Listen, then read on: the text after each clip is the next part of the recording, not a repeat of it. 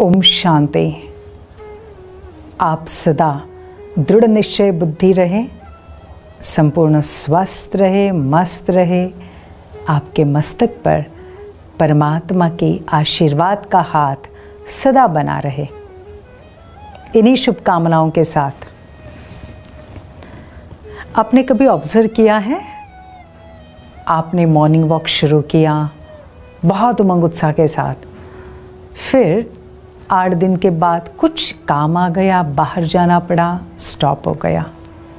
फिर थोड़े दिन के बाद शुरू किया, फिर स्टॉप हो गया। कई बार मेडिटेशन शुरू किया, सीख लिया, वापस स्टॉप हो गया।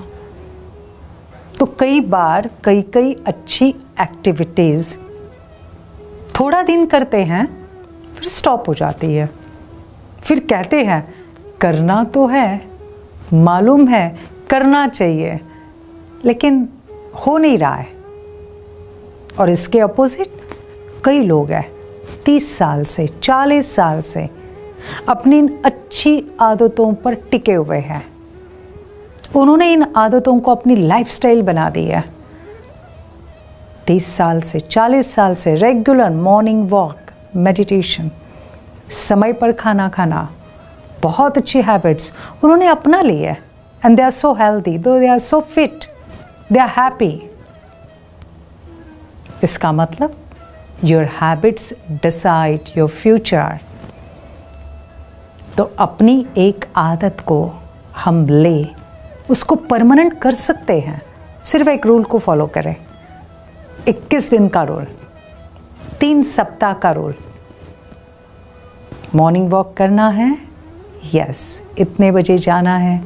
Six o'clock seven o'clock fix करो, जाना है।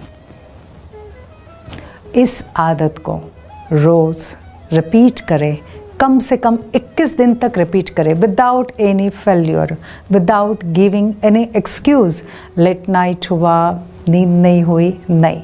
करना है, मना करना है। बी डिटरमेंट तीन सप्ताह तक उसको रिपीट करते जाओ रिपीट करते जाओ। आपको आदत लग जाएगी। और ऐसी आदत कि अभी आप ऑटोमेटिक उठते जाएँगे।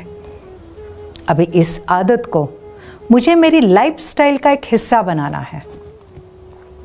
तो इस आदत को 90 दिन तक वापस रेगुलर करें। थ्री मंथ्स तक। तो जब हम इस आदत को थ्री मंथ्स तक रेगुलर चाहे बारिश हो, गर्मी हो, ठंडी हो, कुछ भी हो, मुझे करना है करना है। तो वो आदत आपके लाइफस्टाइल का एक पार्ट बन जाएगी। और फिर आप खुद फील करेंगे यस जो सोचता हूँ वो मैं करता हूँ। और इसी के लिए सिर्फ़ ये रूल याद करना, कोई भी आदत को परमानेंट बनाना है तो three weeks and three months इसको अच्छी तरह से याद करो तो आप क्या महसूस करेंगे? Your habits decide your healthy future, happy future, and wealthy future. Om Shanti.